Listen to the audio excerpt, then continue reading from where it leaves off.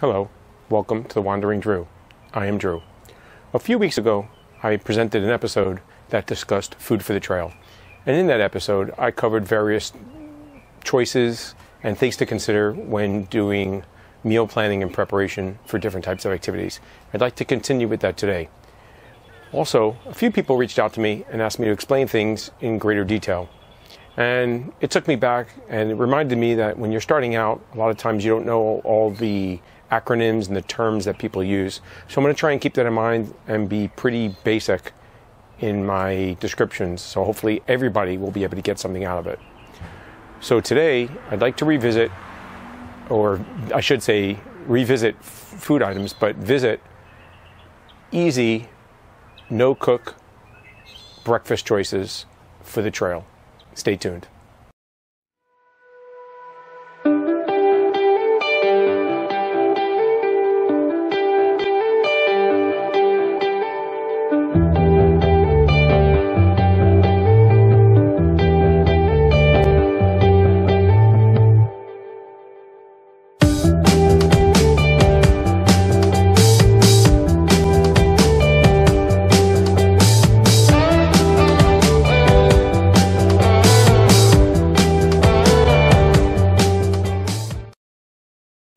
Welcome back.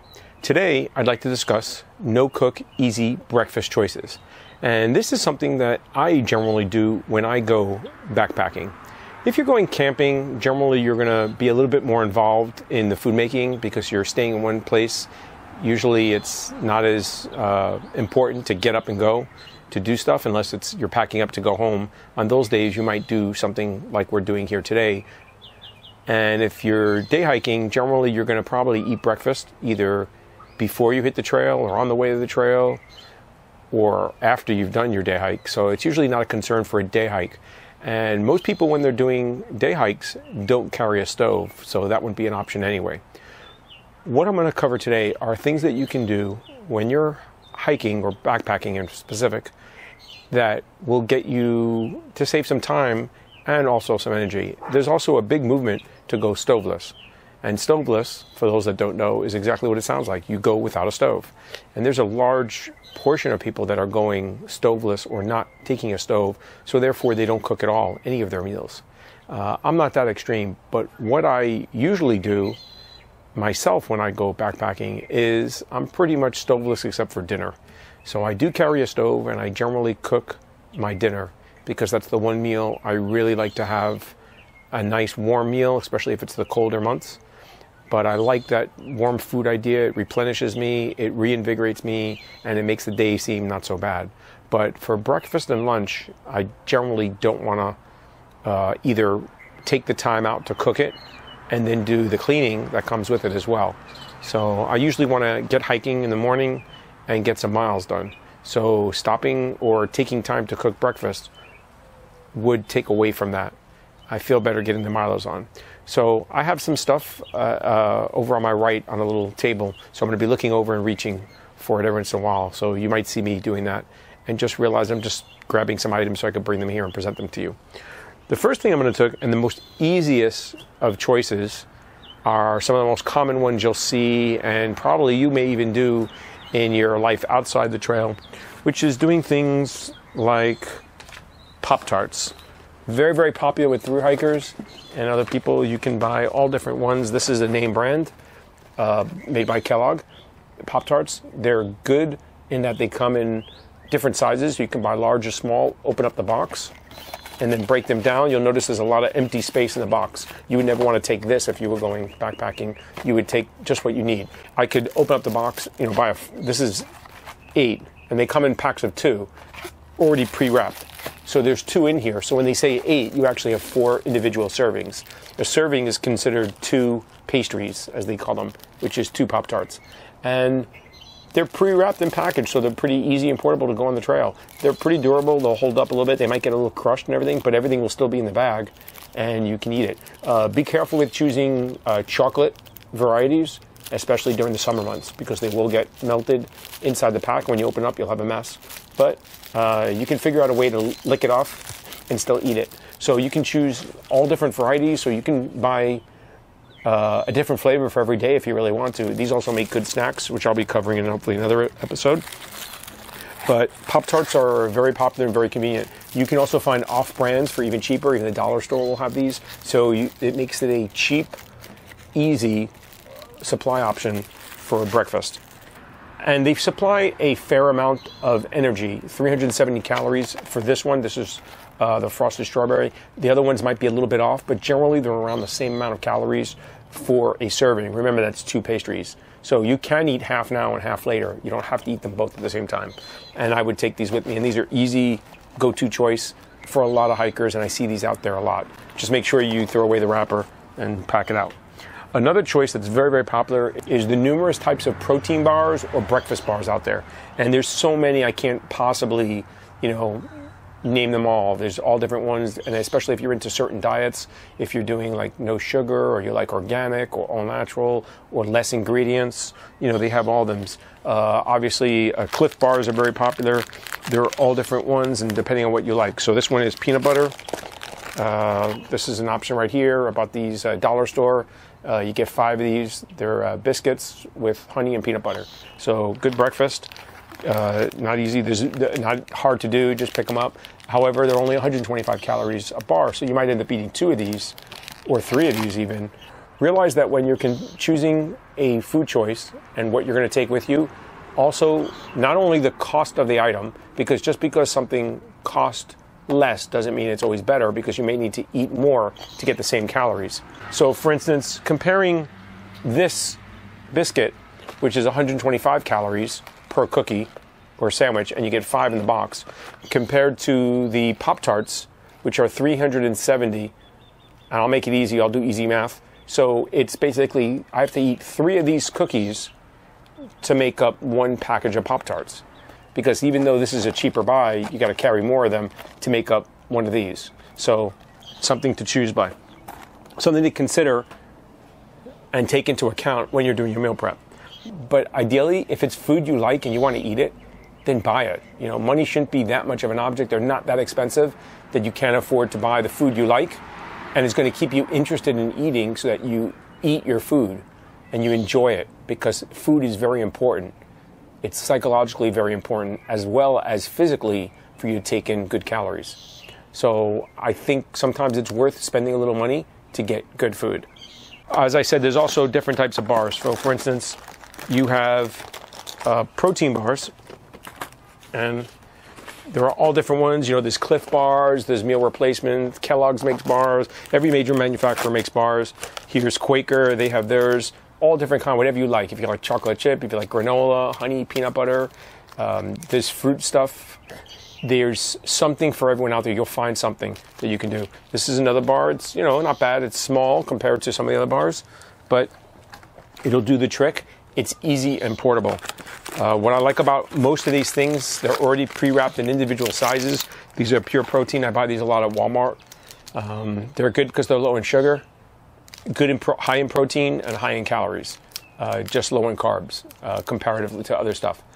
Uh, and they have sugar alcohols. So if you're someone that gets upset by sugar alcohols, then you might not want to have these. So other than that, they're prepackaged. They're convenient.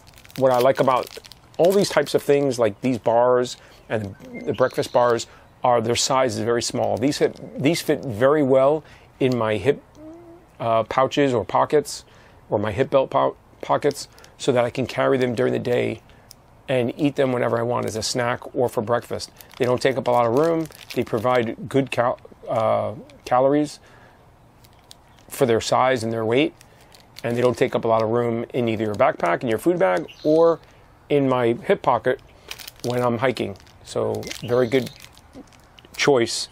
And I usually almost always will have some of these. Even as a backup, maybe if I decide I don't want to make something else, I'll go to this. So, those are good choices to have.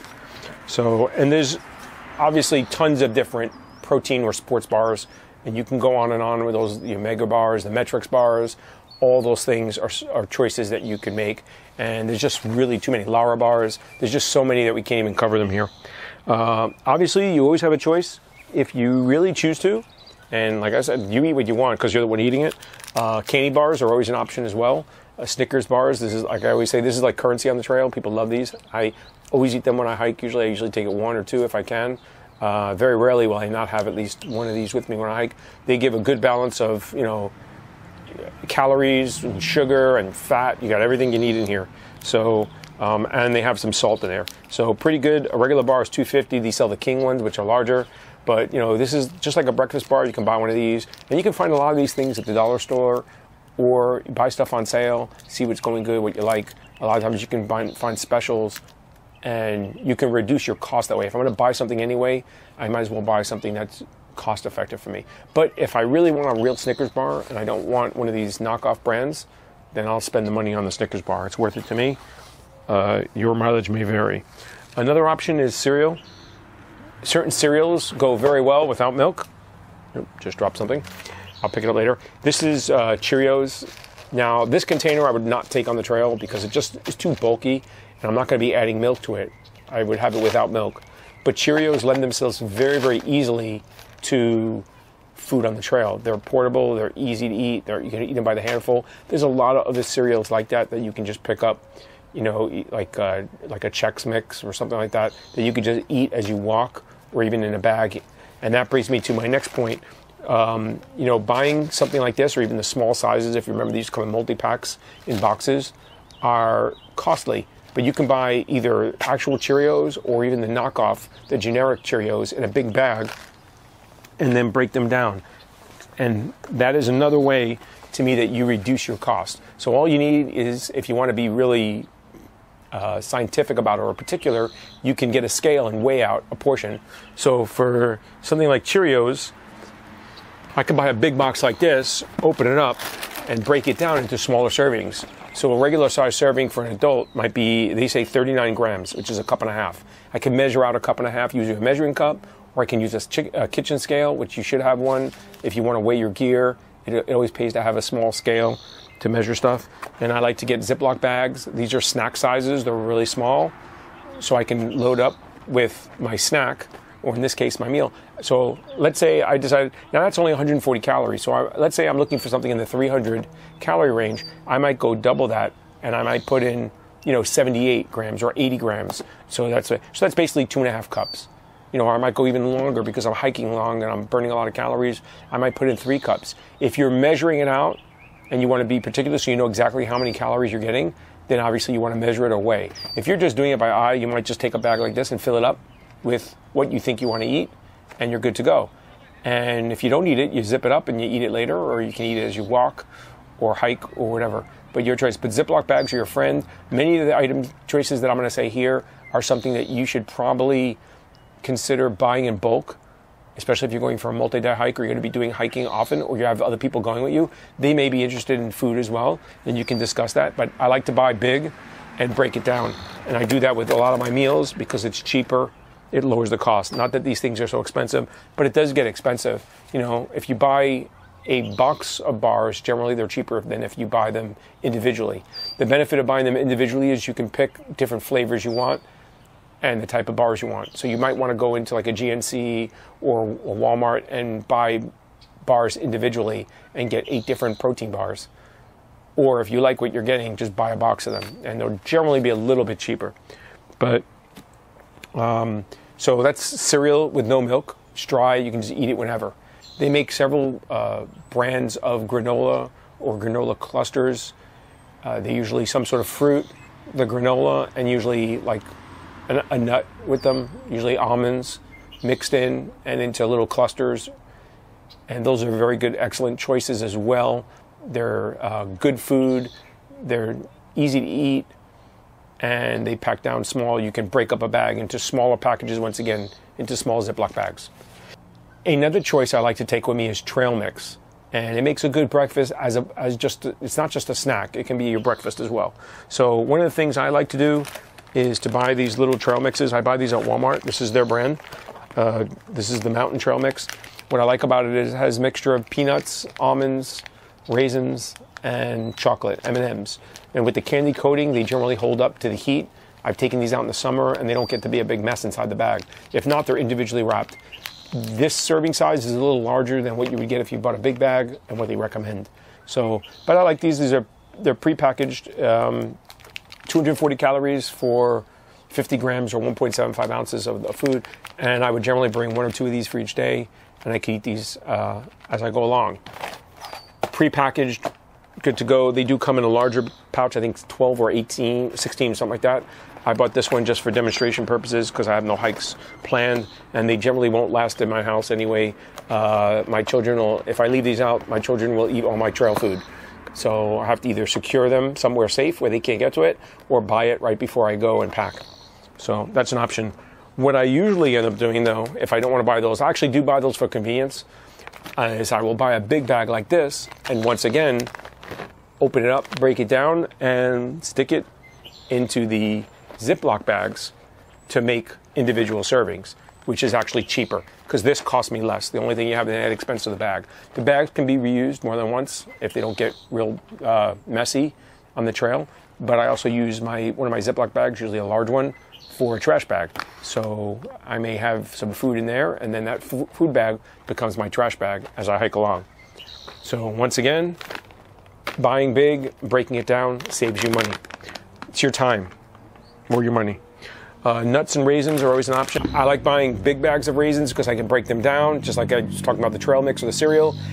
I don't like the boxes of raisins because I feel like they're not sealed. Uh, dirt or bugs can get in them, or water can get in them. So I like having a bag. So even if I buy the boxes, I would repackage them in a Ziploc bag anyway, leaving them in a package. But this is easier. I have less cleanup that way. I just have to divide them up. So once again, something to do. You can also use individual nuts. Uh, here's a thing of cashews. You can divide these up. Uh, I really like macadamia nuts. They actually are one of the um, highest calories, I think, per ounce of most nuts. Uh, they're in the 200 range per ounce, 200 calories per ounce. So that makes them, uh, I think, one of the nuts with the highest caloric per ounce um, output. So if you're looking to carry calorie dense food, macadamia should be on your horizon there. Uh, and and almonds are always a good choice as well. Oh, so but another thing you can do is you can take these and you can make your own kind of trail mix with it, right? So I can mix, I blend them nuts together. I can mix more than two or three, so I can make my own trail mix that way, just by mixing it in a big bowl or in a big bag and shaking it up and carrying it with me in a big bag, or once again dividing into individual portions based on how long I'm going. And I can even add the raisins in with that, and I got trail mix, and I can buy a bag of M&Ms and make my own trail mix with that, or I can use chocolate chips. Uh, I like using M&Ms because they have that candy coating, which gives it a little more flavor, but it also protects the chocolate in hot weather. If you're going to be going in colder weather, then you might want to just buy like chocolate chips. Uh, you can buy those in the baking aisle, and they're cheaper than buying, let's say, M&Ms. But if I'm going to go in the hotter weather, I generally like the candy coating. They seem to hold up unless they're really packed and hard. They don't usually crush up, and they still don't get the bag all messy with melted chocolate all over it. So just something to think about. And what's good about that is you can control the mix as much as you want. If you really like, let's say, pecans, you can add a lot of pecans. If you really want more chocolate than you want nuts, you add more chocolate. So you custom make it for what you like. And that's always a good option. Another thing that can be done is just like on the, uh, when you go to the gym or during the week, you can use powders. The only thing is you have to mix them with water. And I'm assuming you're going to have water anyway, because usually you need water anyway for yourself, and you're going to have access to it at some point. So you can use and mix water with a powder to make a meal replacement. And there are some other choices as well. Uh, if you look, there's things like Nido or Nestum. That's like an oatmeal for babies. It's a fine powder. All you do is add water, whip it up.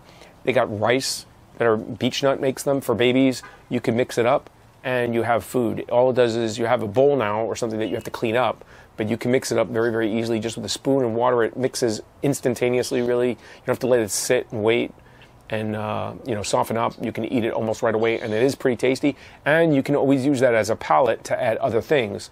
Once again, you can go to a good standby, which is you know raisin, dates, things like that that you can add to it to add more flavor. Um, cranberries, dried fruit, or you can even add nuts to it and give it more punch in terms of calories and flavor.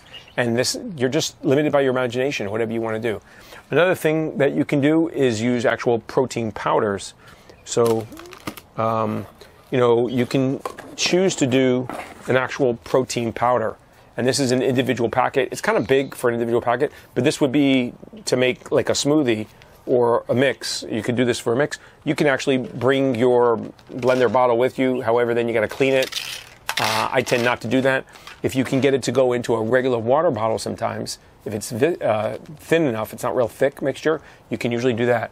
And once again, you can buy big, right? Take your handy dandy kitchen scale. This is the one I use, and weigh out a portion, pack it in a bag, and take it with you. One of the things you can do to get it to go into a regular water bottle is snip the corner off, or bite the corner, or cut the corner with your knife, and use that as a funnel to go into the, the bottle, the water bottle through the neck, and just shake it up and drink it out of the water bottle. You'll have a little residual uh, flavor in there for when you fill it up again. But if it's something you like anyway, then you're probably not going to mind that it'll make the water taste a little like chocolate or vanilla or mint or whatever you choose because there's so many flavors available with all these things. These come in all different flavors, and you know, even if you're interested in a certain type of diet or a dietary um, restriction you have, or you, you know you're looking for low sugar, or you eat paleo or keto, you can probably find some sort of mix that meets your caloric or, or dietary goals. So that's always an option. Uh, one of the things I used to do when I was going to the gym and I used to work out, I used to carry these things. Uh, they're called the, I think they're Nutri- Nutribombs. Um, the problem is they're a little bulky to pack, but basically what it is, is it's a funnel with a cap on it on both ends. So I could preload this with my powder and seal it and take this hiking with me. The only problem is it's kind of bulky, but the good thing is I can use this like a funnel. The bottom screws off. This would go in the neck of the water, and I would tap the powder. It falls in, and now I, all I have to do is shake the bottle, and I have my sports drink to drink.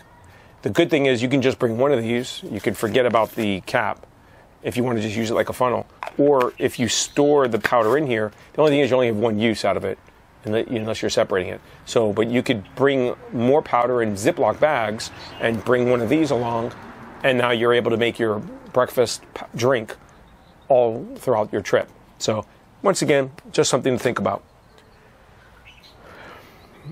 Um, and I already mentioned, you know, all, all these play Carnation, Quick, all make protein drinks or drinks you can use meal replacement for breakfast for kids or for adults to use, and you can just simply use that powder, you know, or milk chocolate or quick, like I said. But there are some others that are uh, like a rice or an oatmeal that are, and Nido is one of them. And I've used that sometimes when I'm making pasta instead of milk. I don't take milk on the trail. Obviously, it would spoil, so I take like a powdered milk, and sometimes I'll add one of those, like a Nido, which has calories in itself. It could become like a shake. So it has flavoring, and it also gives me calories. So it ups the calories that I'm getting by adding that to a meal.